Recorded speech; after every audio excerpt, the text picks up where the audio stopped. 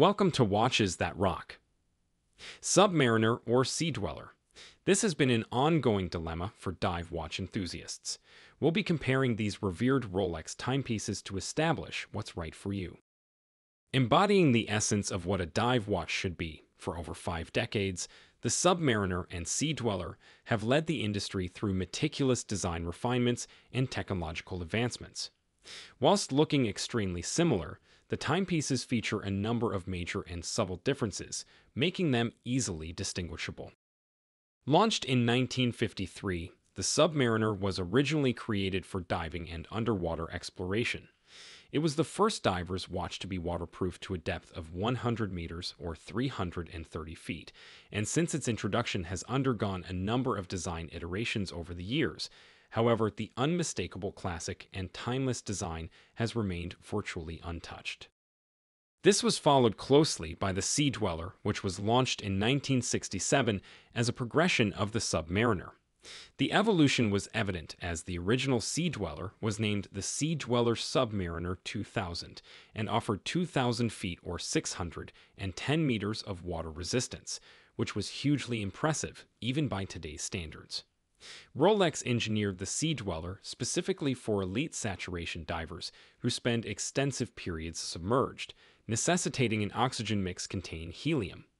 However, resurfacing with helium trapped in the timepiece could lead to damage and even separating the crystal from the case.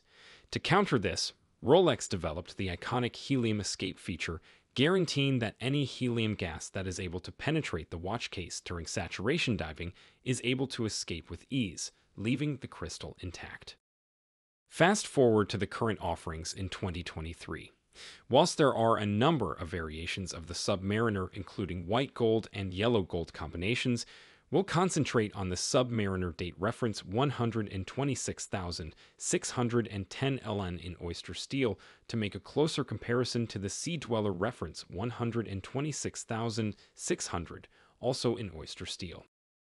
The Submariner case has undergone a number of changes and enhancements since its introduction in 1953. The original case measured 38 millimeters, and in 1959 it was enlarged to 40 millimeters, also incorporating the addition of crown guards. Since 2020, the Submariner features a more substantial case measuring 41 millimeters and approximately 12.4 millimeters in height. The Sea Dweller case has also undergone a number of changes and enhancements since its introduction in 1967. The original case measured 40 millimeters and in 2017 was enhanced to 43 millimeters in diameter and 15 millimeters in thickness, which is reflective of the current version, reference 126,600.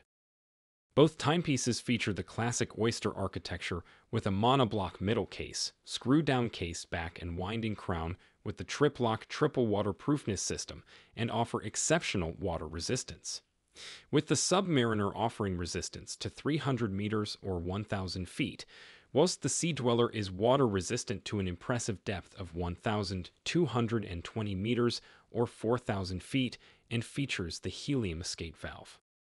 One of the instantly recognizable features of the Rolex dive watches is the graduated rotatable bezel. The Submariner and Sea Dweller are equipped with unidirectional rotatable bezels divided into 60 minute graduations to help divers keep track of how long they've spent underwater. One standout difference is whilst the Submariner features graduations for every minute up to the 15 minute marker, then spaced to every 5 minutes, the Sea Dweller bezel is graduated at every minute. The bezels have evolved over the years and feature more pronounced knurling allowing for a better grip, especially if wearing diving gloves. The bezel inserts have also been updated for both timepieces and are engineered from Rolex Cerachrom, a hard, corrosion-resistant ceramic, which is virtually scratch-proof and unaffected by seawater, chlorinated water, or ultraviolet rays, making it extremely durable.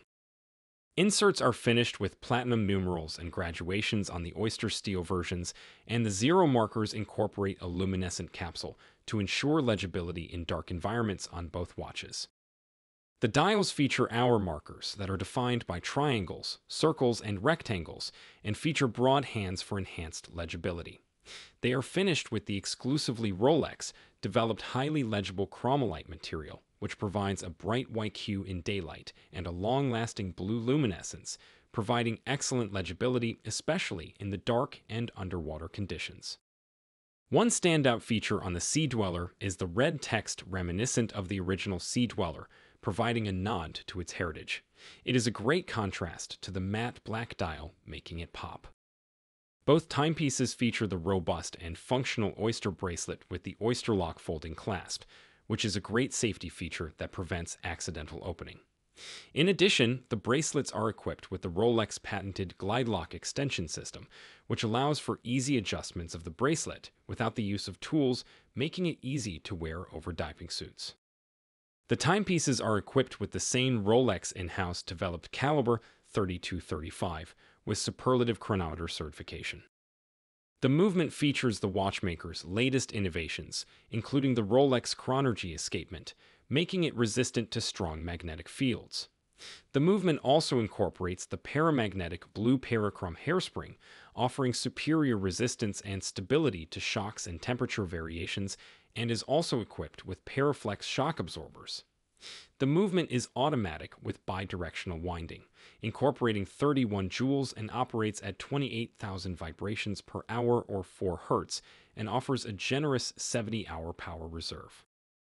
These two timepieces, though sharing similarities, possess unique qualities. The Sea Dweller is an evolution of the Submariner, as would be expected, and has excelled the original specifications in terms of tool watch capabilities. However, the Submariner still holds ground and is known for being one of the most popular Rolex watches of all time. If you're looking for a standout watch that triumphs on style either for everyday use or for diving, then the Sea Dweller would be the obvious choice. The larger size and increased proportions enhance the Sea Dweller's wrist presence compared to the Submariner, and the red Sea Dweller lettering on the dial is sure to catch attention.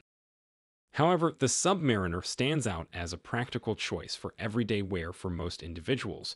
Whilst still being a dive watch, it is less intrusive and offers impeccable style and function with a lower price tag of 8,650 pounds sterling or 10,250 dollars US, whilst the Sea Dweller is priced at 11,150 pounds sterling or 13,250 dollars US. Both are great timepieces and worthy additions to any watch collection. Let us know which you prefer and why. We hope you enjoyed this episode. Please remember to support the channel by hitting those like and subscribe buttons. Thanks again for watching and catch you next time on Watches That Rock.